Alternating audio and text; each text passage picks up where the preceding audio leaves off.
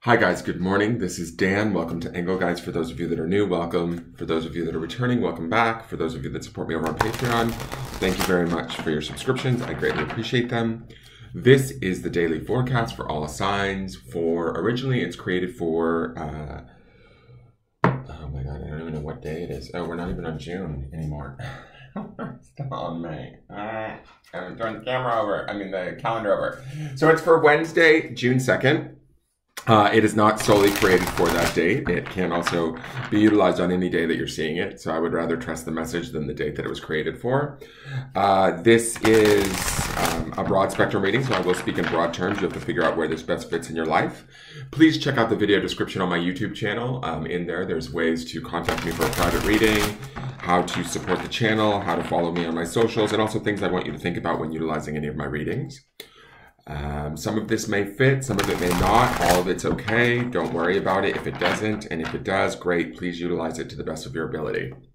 Um, so let's see. We will be building on Sunday's reading a little bit, and that's always down in the left hand corner at the end of the reading. So if you want to understand what I'm referencing to when I talk about the underpinning energy, that's the reading that goes out on Sunday that shows us sort of just another card for the week right? Uh, I do three cards and they sort of underpin. It's just another layer of the energies that are going on throughout the week.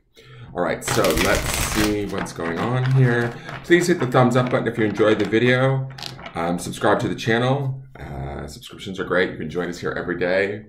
Check out your monthly horoscopes. They're out there on the channel for you too. And I have a whole list of unboxing videos too if you are interested in looking at other different decks. You can also go through those decks and see which decks are in there. And if you want to book a private reading with me, you can request a specific deck if there's something that really rings out to you or you feel particularly particularly drawn to. All right, so let's see. What do the cards want us to know? So for this morning, we have, oh, I'll take it. We have this beautiful energy of the stars. Still in this air energy. The moon is in Aquarius, though. That's what I did find out, too. Um, we're also in Gemini season, or at least the moon was in Aquarius for the last couple of days, I believe. So I think that's also some of this um, emphasis on air energy. The star is Aquarian energy. It's Archangel Jophiel is the representation. Um, the star is always that calm, that peace, that quiet sort of nature, um, that ability to sort of be still and know is the way that I see the star, right?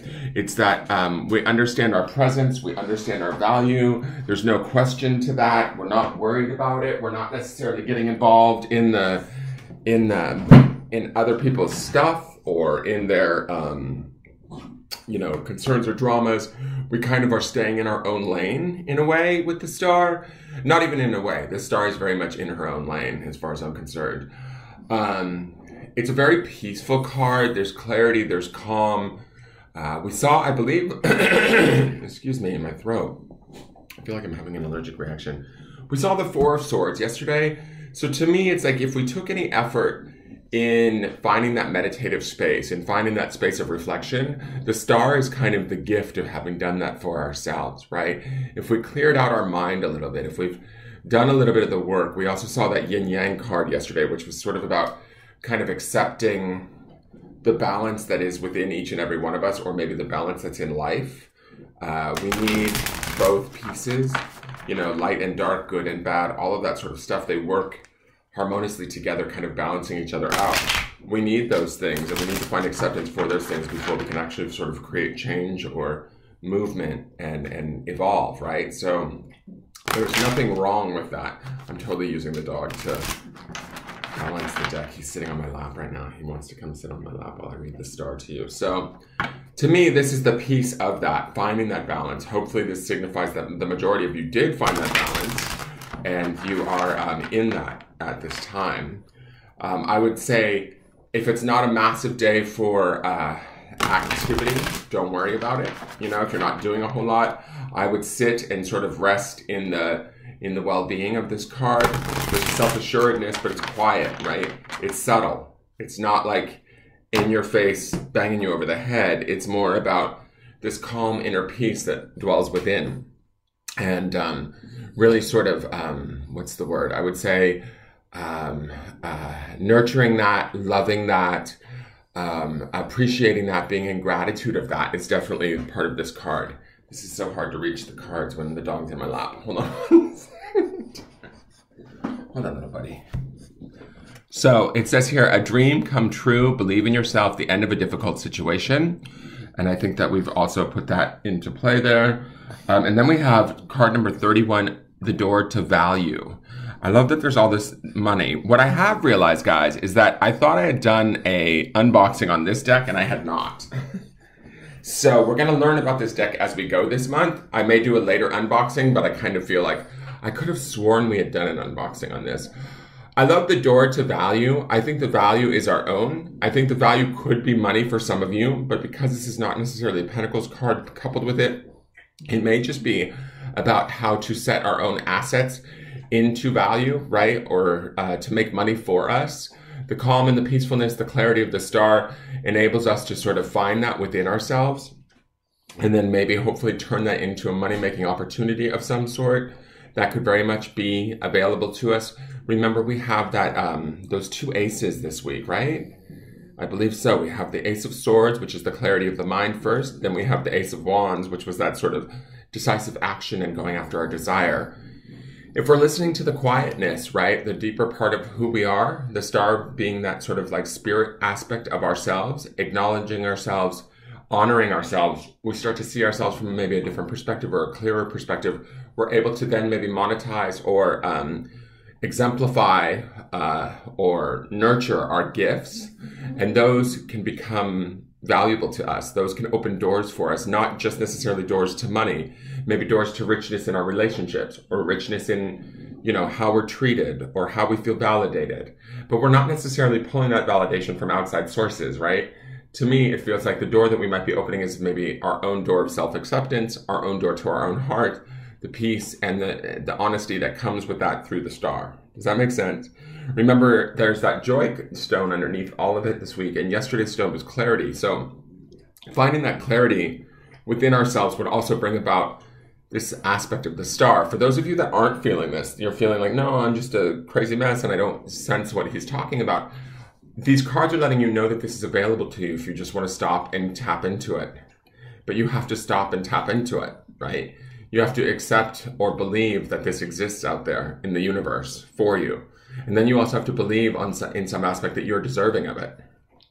Right. And so again, I, I go back to yesterday's reading where it was the beginning, which is the Four of Swords, is that taking that conscious um, step or that actionable step towards clearing the mind, Xing people and their opinions sort of out of our space and getting clear on what it is that we think and what we want and finding that stability. That stability goes from that four into this eight. There was another thing that I noticed too. I think that there was two fours yesterday. We had the four of swords, and then I think the numerology on the second card was also a four, and I caught it after the fact when I was putting the cards away.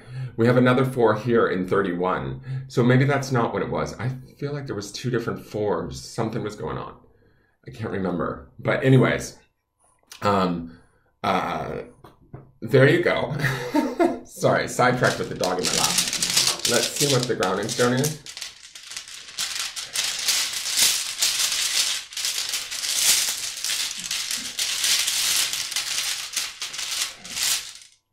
Okay. And here is the grounding stone. Let me lift the dog. He's so funny. He's totally like sitting in my lap today. I don't know why. Today is enjoy. Ah, sorry, he's kicking the computer. So, on um, Obsidian, which is a very um, uh, strong a powerful stone that kind of wards off negativity, right? The peace of the star would also ward off negativity. This door to value also enables us to realize our own value, our own truth. And so we shouldn't necessarily entertain things that are maybe negative or beneath us or give us trouble. Um, hopefully, we're turning corners in um, our, how we see ourselves or how we value ourselves we should be finding and seeking out what that with which we enjoy. Even the simpler things. The star kind of takes me to this place of simplicity too. So if there's simple things that bring us enjoyment, ground in those things today. Be grateful for those things. Be appreciative of those things. That opens these doors to value even more. It helps you to value the relationships, those simpler things that you love. It also brings you closer to that idea of the all of the things that we saw this week thus far joy, peace, and clarity. All of those things are in this star card, right? So I love that we're seeing her after having seen those grounding stones. They're all kind of going in a pattern to me. Enjoy this time, guys, and really how do I want to say like utilize it for the best of um, to the best of your ability. We're after this, you know, full lunar eclipse in Sagittarius, which is a very positive, expansive um, opportunity. We're at the mid-year point. We just hit uh, June first, so we're at the mid-year. It's maybe time to like settle with what's gone on in the first half of the year, reflect upon it, settle it into a place of acceptance, and then begin to move forward in the second half of the year. Does that make sense? So enjoy everything that you do. And um, I look forward to seeing you guys tomorrow. Please hit the thumbs up button and subscribe if you feel so inclined. And um, have a wonderful day. It really should be um, filled with beauty and, and enjoyment today. All right. Have a great day, you guys, and I'll see you tomorrow. Take care. Bye bye.